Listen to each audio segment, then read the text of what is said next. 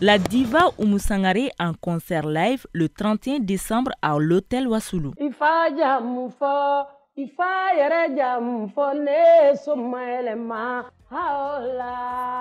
Bonne année, bonne année 2018 à tous mes fans. 31 décembre, l'affaire de l'hôtel et résidence Wassolo. L'hôtel a décidé de frapper plus fort que jamais, surtout avec la sortie du nouvel album Mogoya qui ne s'est jamais présenté ici au Mali. Alors, Oumou Sangare et son groupe au grand complet veulent vous présenter l'album Mogoya. C'est le 31 décembre à 21h. Pour plus d'infos, appelez au numéro qui s'affiche. Alors, on vous attend. Ceux qui vont rater ça.